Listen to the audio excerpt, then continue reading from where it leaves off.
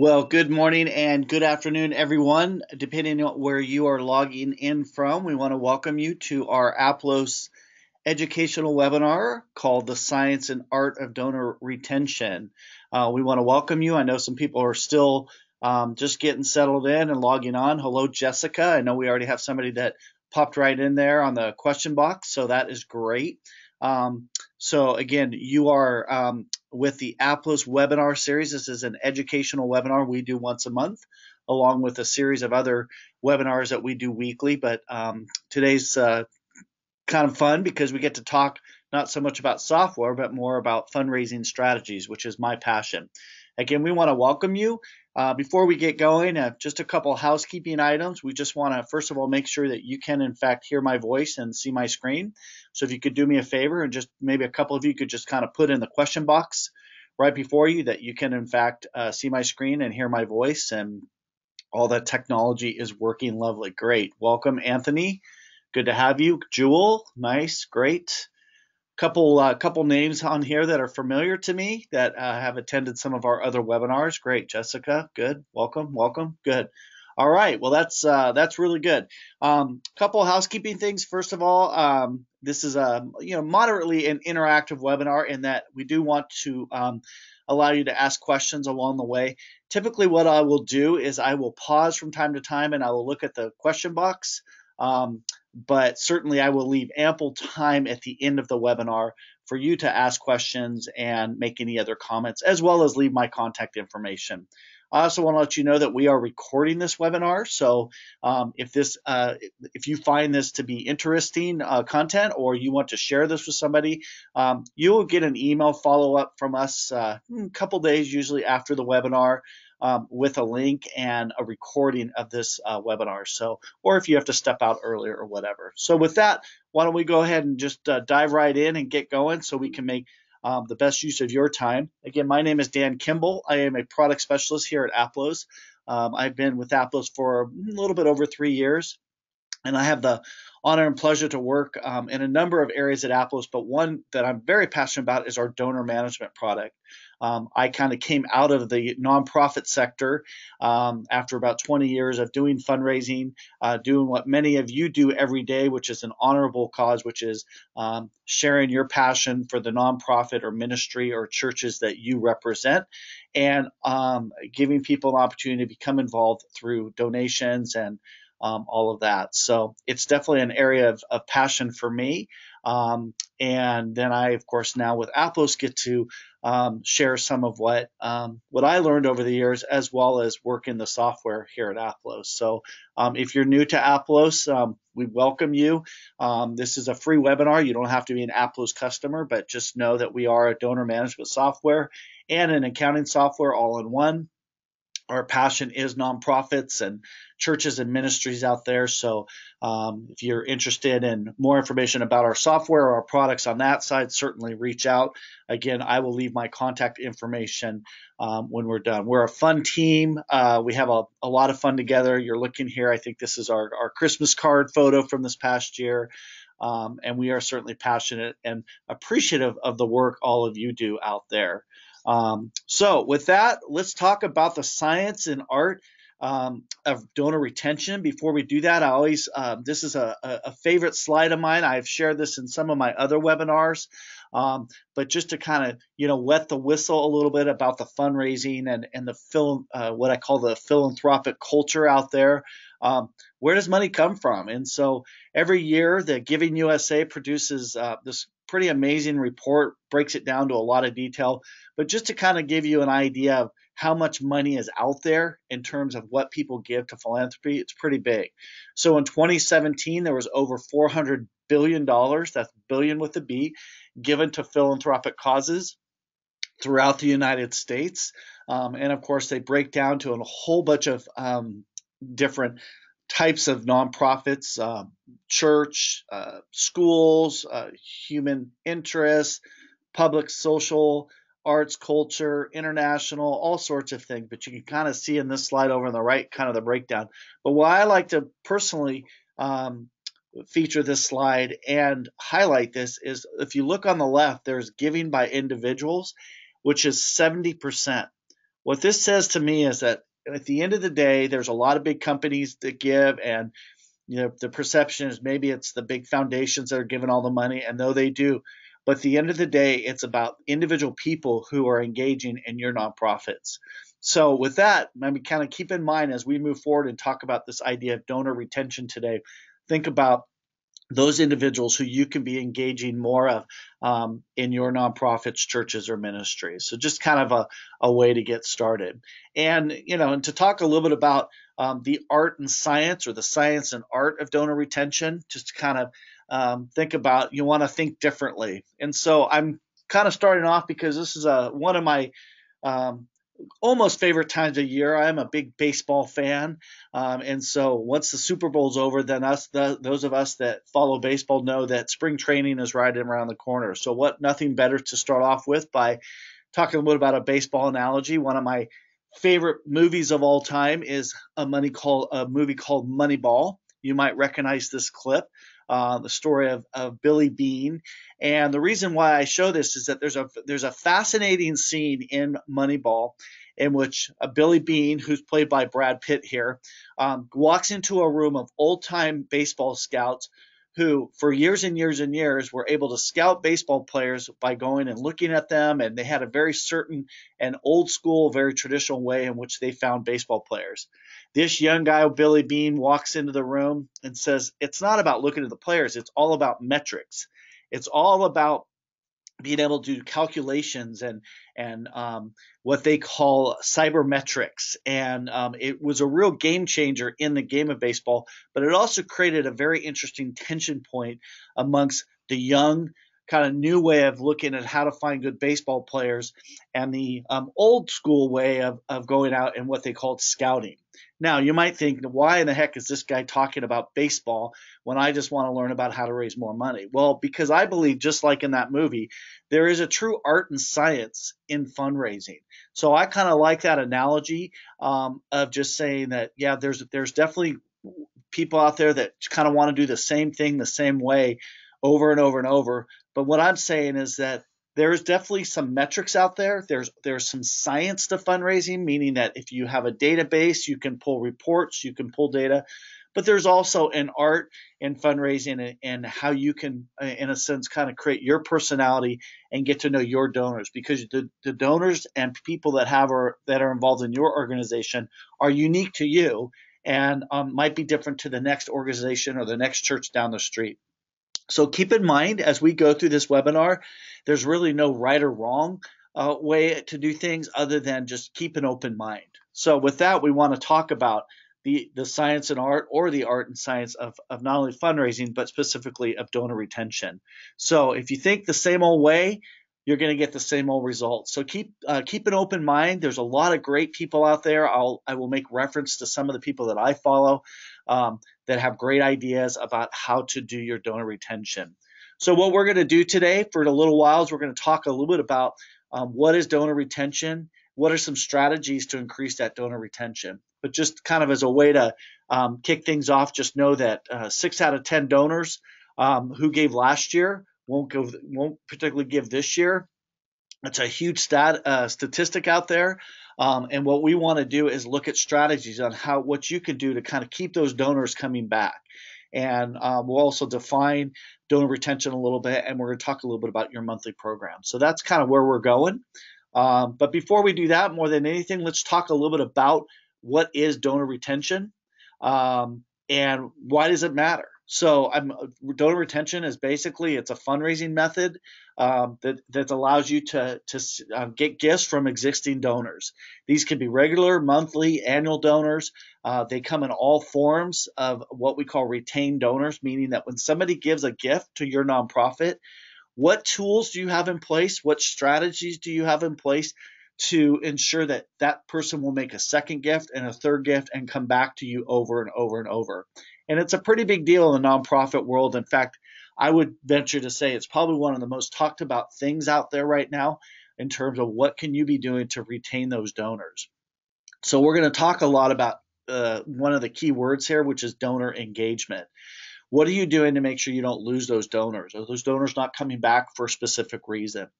Uh, Marc Pitman is one of my favorite fundraising experts out there. I've um, listened to and read a lot of his stuff, and he says that the average nonprofit loses um, um loses uh, seven out of ten donors every year. Um, that's a pretty big amount. I mean, but picture 10 people that are involved in your organization and seven of those who you might never hear from again. Um, again, these are some averages. Some of you might be doing better or worse. But the point being is that there's a lot of data out there about this whole idea about what can we do to keep those donors engaged in your organization. I know another way to look at this is for every $100 a charity raised uh, from new donors in 2015, it lost 91 from existing donors. Um, so there's this kind of cycle of going out, finding new donors, and um, and and what are we doing to keep those donors? Uh, this fundraising effectiveness project, also known as FEP, is a great resource. Um, obviously, I have it quoted here in the slide, so you might want to Google that, check it out. It's a it's a very powerful report. Um, a last point on this is a well-run organization uh, that focuses on holding on to donors should have um, first year retention rate of around 40 to 45 percent and a multiple multiple year retention rate of 75 to 85 percent. Uh, this is according to the retention fundraising expert uh, Roger Craver. Um, so the idea being here is that if you make um, your donors a priority and keeping them, you're going to see them coming back uh, more and more down the road. So what we're, doing here is we're talking about retention versus acquisition. We're going to focus on what we call the donor funnel.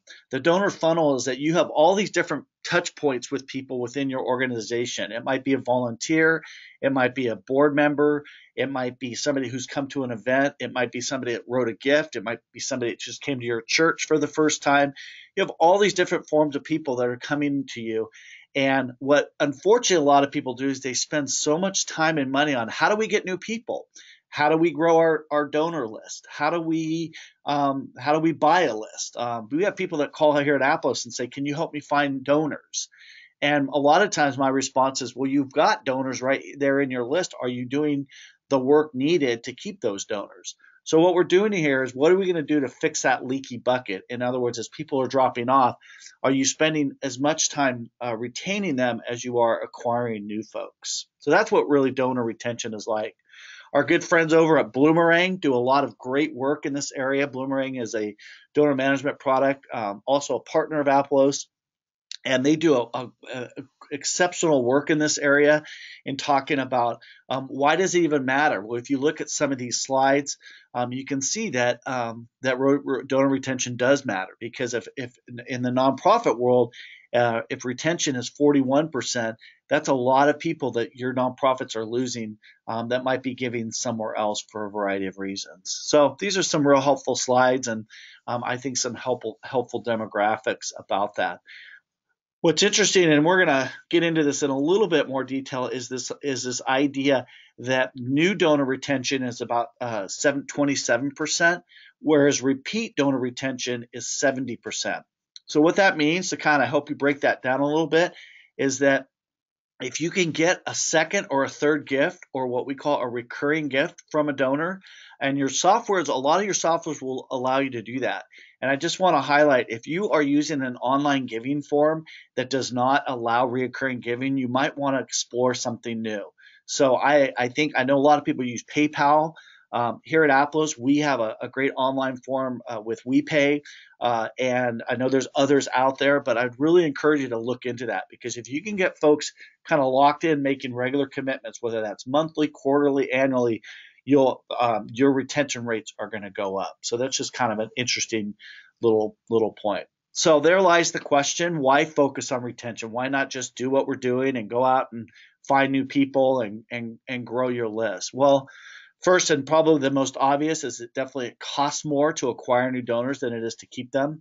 Um, in other words, if you have to advertise, if you have to go to like Google or Facebook or and you're paying for advertising in order to get attention to your nonprofit, um, that's going to be more expensive than simply sending uh, good follow up and engagement pieces to your existing donors.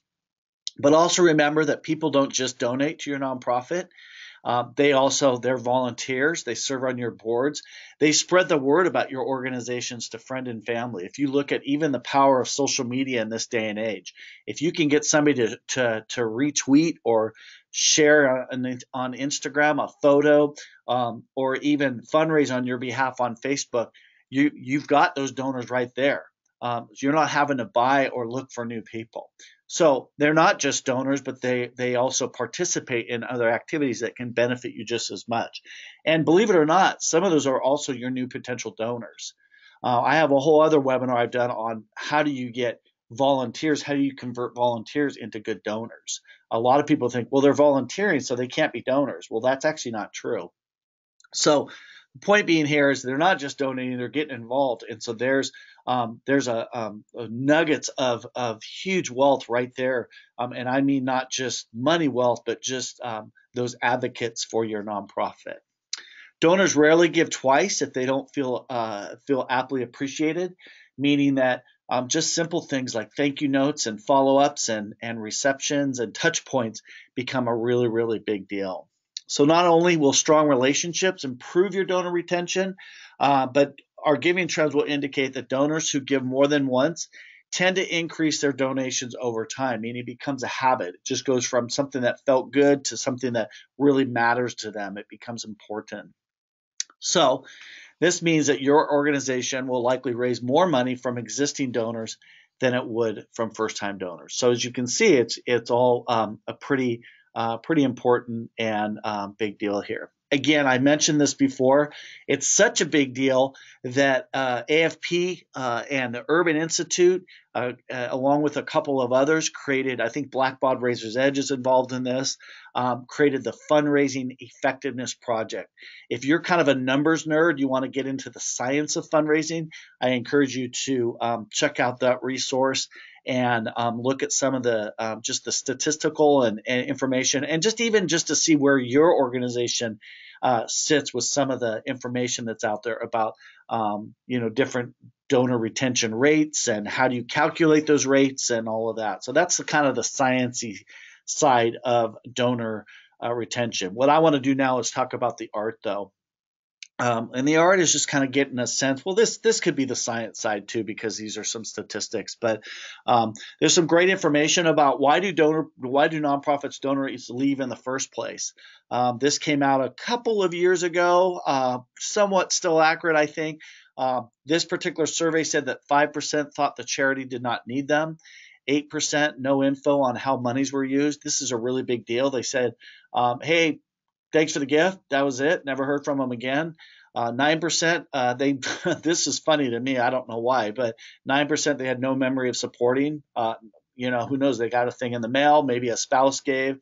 13% never got thanked for donating. This is a really, really big deal, and I would encourage you, and I would even venture to say, even if you are a church, um, I would really encourage you to have a discussion about how are you thanking those donors. Uh, 16% was due to death. Um, of 18% poor service or communication. Uh, 36% said others are more deserving. That's a pretty big statistic, which means that maybe folks need to do a better job telling their story or letting people know how those dollars are being used. And then I thought that was interesting that 54% could no longer afford. Wish I had a little more info on that, but I did find this to be an interesting um, piece of um, data on this particular area. Okay. So let's talk about some strategies a little bit to boost that donor retention. What are some things that you can be doing now? So if you've ever been on a webinar with me, you know I, I like to talk about what folks are doing out there, but I really like hopefully the walk away will be one or two things that you can have that are practical applications for your nonprofit or your ministry. So um, uh, so some so so here are some key components of donor commitment um, how a donor perceives your organization to be effective in trying to achieve its mission. This becomes an important uh, part of that donor process. Um, so, how they perceive your organization, and, and, do they see you to be effective um, in what it is that you say you do? Um, donors uh, know what to expect from your organization with each interaction. In other words, they know you're um, they know they might get a thank you. They um, they know how you work and operate. So again, we're kind of building a relationship between you and the donor. Um, donors receives a timely thank you. Um, I, I, cannot emphasize emphasize this enough. Uh, for me personally, I like to just uh, again as a test. Um, what I will usually do is is towards the end of the year, usually about November, December, I'll I will usually donate to about five or six, sometimes a few more different charities. Not a huge amount, just to kind of see how different folks out there are thinking. Um, in fact, just as a funny story, I gave to one organization in November, and I actually got two additional appeal letters before I ever got a thank you. In other words, they asked me for more money two different times before I ever got thanked. So to me, that's a systems problem internally um, or something kind of was amiss there. So for me, that as a donor, that was a bit of a turnoff. So think about your your thank you process, how and who you're thanking.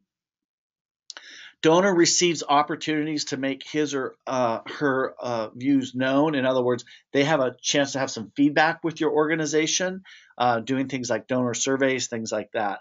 Um, the donor's given the feeling that he or she is part of an important cause. So if you can bring people into the fold and help them really think that they are they themselves are making a difference that will increase uh, donor commitment a donor feels his or her involvement is appreciated they feel thanked they feel valued and then lastly a donor receives information showing who is being helped um, again you don't have to have thousands of dollars to do this especially in this day and age of social media and um, easy to uh, get back to donors uh, but these are things that um, I think will really help uh, you uh, identify good donors for retention. So here's some simple strategies to boost that donor retention. Um, again, I'm going to uh, kind of go over this a lot, but think quickly and personally. Um, a bland dear friend type of thank you probably won't work as effectively as a you know filling in somebody's first name and then how much they gave and what they gave to and all of that I say go overboard with appreciation and use those donor centric tones. Donor centric is uh, this was a, a, really big deal.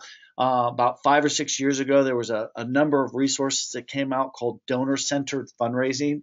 The idea is being as you talk more about the donors than you do about yourselves. We all know you're doing great work, and we all know that um, that that um, you're out there, but the donors want to know that they're part of that story. And then you want to tell how those gifts are being or are going to be used. Um, storytelling becomes a really big deal here. And how are you sharing the stories of your donors' gifts and how are they making a difference? Um, so when you're communicating something and just saying, hey, thanks for your gift, and instead of saying, you know what, because of your gift, these things are happening right now. Children are being uh, fed. Um, students are being tutored. Uh, you know, homeless are finding homes, or whatever that cause is. You know, uh, that that you're a part of. Um, you know, and then tell them what comes next. Tell them what's going to happen. Um, it's it's like a um, you know watching a show that uh, you want to keep them excited for the next one. Um, ask for feedback from your donors. Again, giving them an opportunity to be a part uh, and that means maybe you not being so thin skinned, but as a nonprofit saying, yeah, maybe we could do things better by listening to our donors. And then lastly, get them involved and be creative. Um, I have in other webinars shared a series of, uh, there's lots of good resources out there about uh, creative thank you strategies for those folks. Okay, so let's just take a pause right here. Looks like we're all good on our questions. So I'm going to keep uh, kind of plowing away. So the next kind of area I want to talk about is, is, is sort of the practical of, of one of the, I think, key strategies is having a good stewardship plan within your organization. Um, stewardship for me is not just something that um, uh, you you know you just say, oh yeah, we do stewardship. But stewardship is actually a strategy, and according to Kay Sprinkel Grace, uh, stewardship is the most neglected aspect of the of the giving process. Um, and believe, and her belief is that's why we don't have more major donors. In other words, stewarding a donor is what nonprofit organizations do or should be doing from the time of the first gift and lasting until that donor no longer has a relationship with the organization. So, again, from the minute that first gift comes in from that donor, thinking about um, the what we call the you know the the life of the gift. Uh, you know, not just making sure it gets processed and a receipt goes out, but the touch points that are going back to the donor. So I, I like Kay Sprinkel Grace believe that stewardship truly is at the core of a good fundraising strategy. Just like you have maybe an annual budget, you might have a fundraising plan. You should have a stewardship plan. A stewardship plan and a strategy can be its own um, its own device in which you're um, how you're reaching out to various donors. It shows the donors um, that the organization uh, it shows those donors how how you've entrusted their money um, and you appreciate their gifts. Many donors, uh, many nonprofits lose donors over time. Uh, or donors do not increase their giving because the stewardship is not a priority. Some people believe that stewardship means you need to flood donors with gifts like pens and magnets and calendars and those kinds of trinkets, and and I don't believe that's what we're talking about. Donor stewardship is is more than anything communicating how their dollars are being used and the difference that those dollars are making uh, for you as a nonprofit. Okay. So, what happens when donor stewardship is not a priority? Well, most most would agree that donors will become less engaged, just like we talked about a little bit already.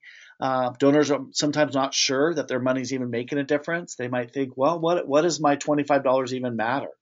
Um, they might forget about you. Um, if they're not hearing from you, uh, they'll lose interest. Uh, they maybe they lose trust a little bit because again they not sure uh, all that's happening. Uh, they don't feel valued, and then donors might decide to give elsewhere.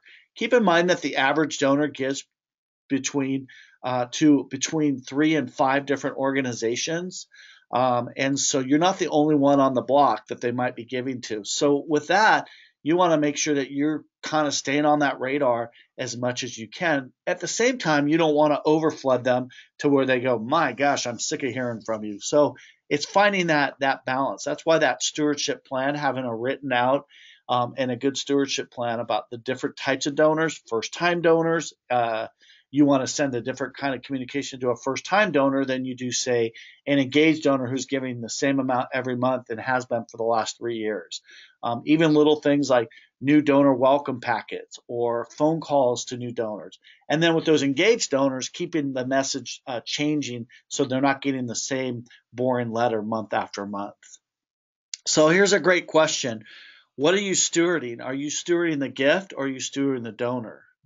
And so for a long time, I think that donor donor stewardship um, really became about you know the responsibility you had as an organization to um, invest those dollars wisely and and show good accountability and those are all really really good and should be done because as we all know we've heard unfortunately those stories of organizations where maybe money wasn't being used wisely but I think um, really in the, uh, the the tides have shift. It goes back to this kind of new kind of art kind of feeling of donor stewardship is really going into a combination of both stewardship and donor relations, which is care and nurturing of both the gift and the donor. You're not only making sure that when somebody gives you uh, money that you're entrusting that and investing it well, but you're communicating back and you're taking care of that donor as an investor. Uh, and that's what donors are. They are an investor in whether it's a church, whether it's a nonprofit, whatever. They're investing in in in you and they're trusting you. So you want to be thinking that, about that as you develop your stewardship plans. So a goal with a stewardship plan is develop a stewardship program with focus on creating happy donors whose commitment and giving increases throughout their lifetimes. Again, you want to acknowledge uh, donors, acknowledge, uh, ensure appropriate acknowledgement of all gifts, this is not just the January end of the year tax statement.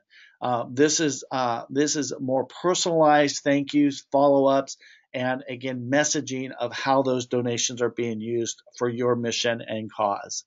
Um, you want to determine levels of personal acknowledgments from leadership and participants within your organization.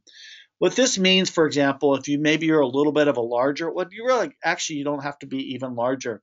Let's say, for example, you might have um, some gifts that are acknowledged by staff, some gifts that are acknowledged by, say, the, the executive director or CEO of the company. Um, but you might want to have different levels of how people are thanked and who's thanking them. Um, not because one is more important than the other, because then what it does, it sort of kind of mixes it up a little bit.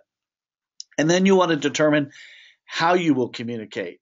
Um, um, things like video messages from leadership, participants, volunteers. Um, I helped a nonprofit one time um, develop a strategy, and what they just simply did is about twice a year we would uh, gather up volunteers um, who were participants in that program, and they would then pick up the phone and they would do phone calls to donors. They would just simply call and say, I'm a participant in this program, and I just wanted to say thank you for for your donations. Um, and it was a really powerful and effective strategy from that aspect.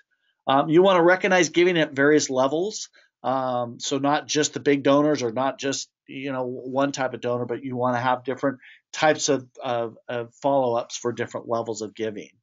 Um, you want to communicate to donors through various mediums or methods. So not just thank yous, but also things like newsletters, um, holiday and birthday congratulation cards.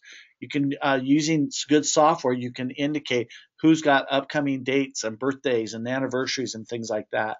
As you can see, different channels we call them, which would be uh, email, uh, impact stories. Um, some people use honor rolls, social media, um, and good old fashioned snail mail still works if you have a donor base that's older that still appreciates a, a nice letter. So don't just do one thing the same way all the time, but may, but maybe mix it up a little bit. Also, invitations to various events, press conferences would, for example, if you have a major announcement or you have the opportunity to have the press come to your uh, to your nonprofit for some reason, hopefully a positive reason, get those donors there. Um, have stories of impact through feature stories on those donors uh, in your website, email, and newsletters. Also provide annual impact report of the impact of their gift and overall fundraising. Uh, just kind of as a, a note here, I want to say this is the time of year where a lot of folks are doing annual reports. Annual reports are wonderful, but I think that sometimes people spend way too much money on glossy colored graphs and charts and, and this, that, and the other, and they never really talk about impact. Um, and so I would say if you do do an annual report, um, think about how you can tell a better story on the impact that happens. Um, I want to pause right here because we do have a, um, a comment or a question from Anthony, uh, which is our focus group has shown that donors feel that uh, keychains and little gifts are not a significant factor for them to donate and they feel it was a waste of money. Well, that's a great comment, Anthony. And I also want to mention, Anthony, first of all, I want to congratulate you for even taking the, the time and effort to survey your donors. I think that is an excellent practice and great feedback. I think there's an appropriate place for little for little promotion items, um, and so I don't mean to say that you should never do them. I think there's there's a time and a place for that. But I think as a as a focus point to say thank you, I think donors really want to hear stories more than they want a keychain. So great point, and I appreciate your your uh, input on that, Anthony. And then uh, specific stewardship plans for your largest donors are necessary. And I know people struggle with this a little bit because they think, well, all donors should be treated equally. Well, yes and no. I mean, the fact of the matter is, is all donors should be thanked and all donors should be communicated to. But if you have someone making a large investment in your organization, um, you know, of 100K, 10, 10,000, 500K, you need to have a plan for that. How are they being thanked? How are they being recognized? Um, some people that might mean, you know, a, a naming of a, of a room or um, in some cases a reception of some kind. It's okay to uh, to target um, and think about how you want to thank uh, different various levels of donors and not apologize for that. Okay. So let's talk about monthly donor programs a little bit and how your monthly uh, giving program affects donor retention. We talked this about this a little bit. Again, this is a slide from our friends at Bloomerang, um, which is if you see here, your first time donor retention is about 19%, where your repeat donor retention is 63%. Um, monthly donors are much more loyal um, in the long run. So again, in this day and age where you have the opportunity for people to give on a reoccurring basis, uh, and whether that's an online environment or any kind of monthly giving program, we show over and over and over the data will support that monthly donor programs are going to, in the long run, um, gain more donors. If I said to you, what would you rather have? Would you rather have um, three gifts of $10,000 or would you rather have 100 donors that give every month the same amount for three years?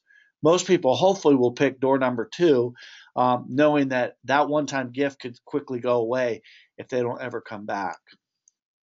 Okay, so why is monthly giving so important as a, re- a, donor retention strategy? Well, first of all, it's a steady and predictable source of income. You know, it's going to be there every month. Um, there's no end date in most times unless it's a pledge. Small donations are significant significant gifts in disguise, meaning they can really add up over time. Um, smaller donors might say, smaller donation donors might say, hey, well, you know, this might not make much of a difference, but over time it really can. Um, recruiting monthly, monthly donors is inexpensive, meaning that with online strategies, social media, those kinds of things, it shouldn't cost you very much, other than in some cases a very small, maybe transaction fee, which the donors in this day and age can actually pay for. Again, utilizing good online donation forms for that. And it's easy processing and tracking um, as well. So um, it's an important and a very um, effective strategy. With that, let's talk about focus on gifts no matter what size. Uh, many large donors really do start at a small level. In other words, uh, they might start small, and over time, if they continue to give, hopefully that donor progression begins to happen. They'll give a larger gift, maybe a more significant gift. They'll give to a campaign or something like that. So you might have many of these everyday donors that already uh, you could already uh, be nurturing into long-term supporters or larger donors. But I want to emphasize if you're not taking the time to show your appreciation to them, you'll likely lose that opportunity. At the end of the day, when we talked about that graph at the very beginning about those $410 billion, a lot of times these are large, large gifts that were nurtured over time through stewardship, through monthly giving, uh, through appreciation events, and those kinds of things. As a nonprofit, you need to look at each small donation as an entry point, a window into and long into a long-term relationship uh, with that donor, um, and could and hopefully will return many dividends in the form of a lifetime and giving uh, um, access to the donors network. So it's like an investment, right? You, most people don't invest in something to expect a return overnight. Um, they invest and, and hopefully over time that pays off. Well, they're doing the same thing with your nonprofit. So really want to make sure you don't um, disregard those small gifts of, well, we really don't have um, the money to send thank yous to so many small donors. And that might be a, um, a mistake. Smaller donations should be viewed as opportunities, not burdens. Um, boy, I sure hope you're looking at gifts and not going, oh gosh, I have to do my thank yous again or something like that. Um, it's great that these donors gave what they did. Uh, they're supporting your nonprofit, and now have added the connection and um, they're a new member of your nonprofit. They're part of your community. Okay. This is a great resource. Uh, agentsofgood.org is a, is, a, is a fun resource out there. Um, there's a lot of material on what they call donor love. Um, there's there's various and a variety of versions of it, uh, but I do like the seven principles of donor love that I'd like to just kind of highlight. Um, and um, again, you can go to agentsofgood.org and, and get more. Again, some of the folks that I already mentioned um, talk about this. Tom Ahern talks about it. Um, a couple others that I'll leave you at the end. Um, the first is your donors are heroes. Again, this is getting away from the you and more about the them, more about the donors and how you're treating and how you're um, involving donors into your nonprofit make your donors the heroes. They're the ones that are the superstars. Um, you know, I think having a picture of of a bunch of staff, you know, doing the work is great. I think having donors part of that story is even better. Uh, make sure that you are sharing amazing, inspiring stories. Um, again, um, fo- photos mean a million. You know, uh, can can just mean the world. Um, there's a nonprofit that I refer to a lot of in my webinars called Charity Water. You can just go to charitywater.org. Um, they do a phenomenal job in terms of sharing amazing, um, powerful images with very, very little words, um, and so that can you can learn a lot from them. You connect to your donors' uh, values and emotions. Um, they say that in seven principles of donor love, donor love is a courtship. It's a romance. Um, how do you make your donors fall? And then stay in love with you. I mean, just like a relationship, right? Over time, uh, you don't want that relationship to be stagnant, so you have to do different things to spice things up, if, if I, if you will. Um, and the same is true with those donors, and that's why don't send them those same thing over and over and over. If you become too predictable, um, you want to kind of keep them, uh, you know, wanting more and wanting more attention from you. You ask for one thing and only one thing. Now, this one is interesting because what this kind of talks about is really more sometimes people overwhelm donors with choices. Like if you send them a, you know, a, let's say a communication piece and, and they need to check one of 15 boxes of where to get involved, it can become overwhelming. But if you can narrow your message um, to one thing, um, the chances are you'll likely get uh, get more uh, engagement and involvement. And that one thing can change, but don't overwhelm donors with too many things. Who or right, who or what is the right voice for your story, and that can change. Um, you know, I know that many executive directors are passionate about the work they do, but quite frankly, sometimes they're not always the best spokespersons. Um, maybe you want to have more donors involved, or um, uh, maybe um, a recipient of the services received, those kinds of things. Um, and again, make sure that in your thank you, you're saying thank you with passion. Um, and there's there's lots of resources out there for um, good thank you letters and effective thank you letters and all of that. I'm not going to read these quotes, but I'll just kind of put them up here for a for a couple of minutes um, as we kind of wind down.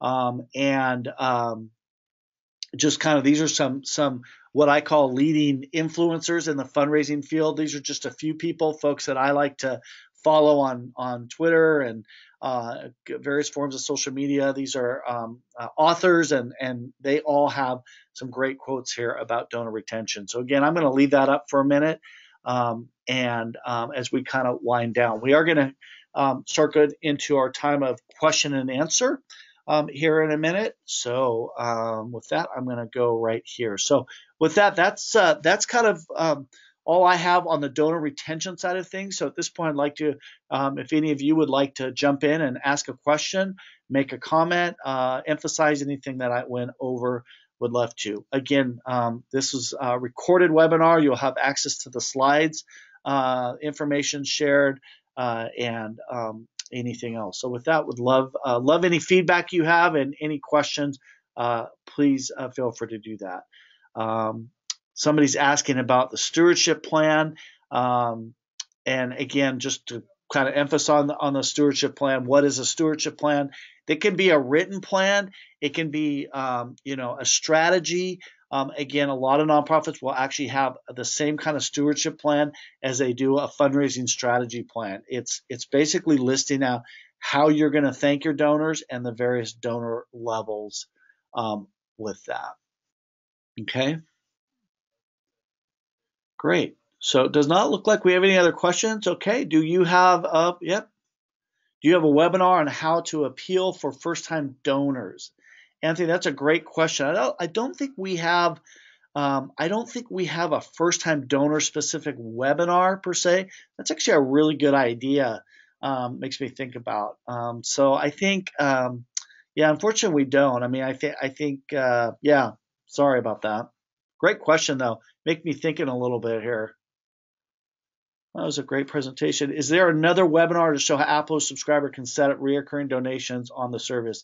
Yeah, if you go to aplos.com and we have a resource center, if you go to our, our support center, we have a list of webinars. One of those on there is, um, and we have some resources on our online donation form. If that's, if I'm answering, Lori, if I'm answering your question, um, we use WePay as our credit card processing provider. So, um, or you can give us a call here. In fact, let me just go ahead and pop um, pop my contact information. Here's my email if you want to follow up with me, or go to aplos.com uh, for that.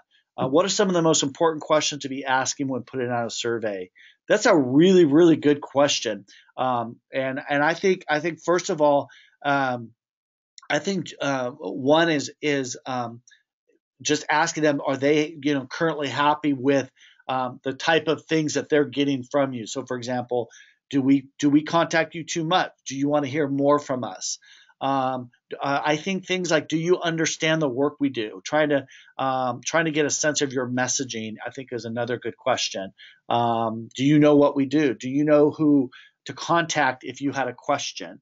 Do you know our phone number? Do you know our website? Have you looked at our social media page? I think those would be good ones. Um, you know, uh, maybe things about what would inspire them to give more or give again. Good question. Really, really good. Uh, will this whole webinar be available listening? Miss the first half. Yes, Cheryl. Uh, this is webinar is being recorded.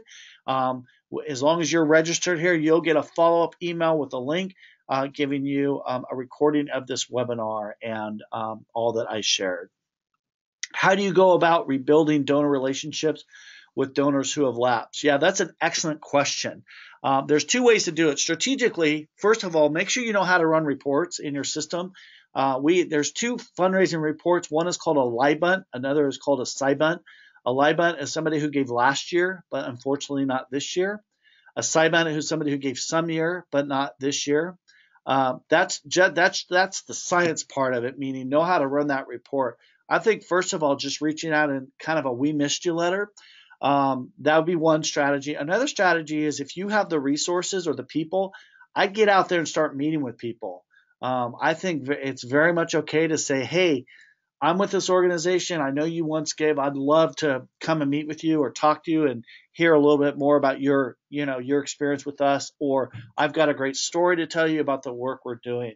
I think be honest with people. I think it's okay to say, hey, we're sorry we we haven't been connecting with you or something in that regard. But I would um, first of all know know who's giving, when they're giving.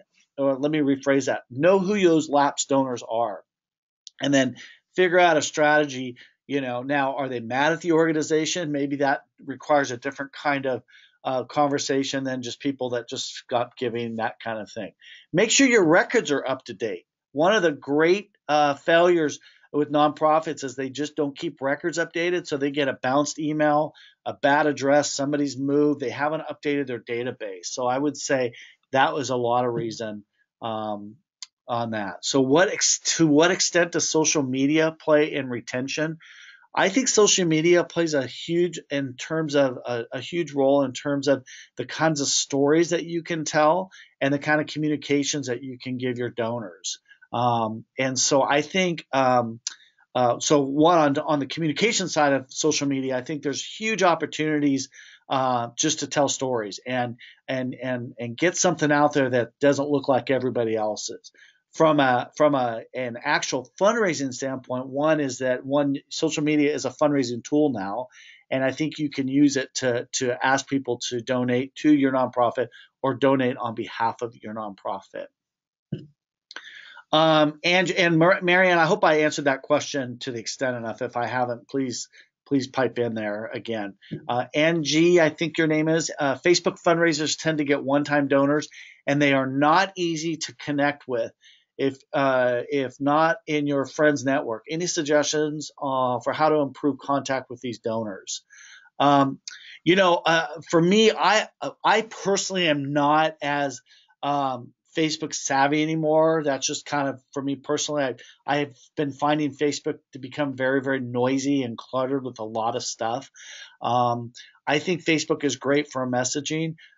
For me, I'm always going to say what's in your database. Uh, so if your nonprofit is using a database, I think one for one thing, if you can recognize how people came to your nonprofit, so if you can figure out that you had donors that came through Facebook then you might want to reach back out to them with a personalized message on Facebook or on social media. So in other words, if, if they came to you through Facebook, then you know that they they like that medium. So then you want to communicate back out to them that way.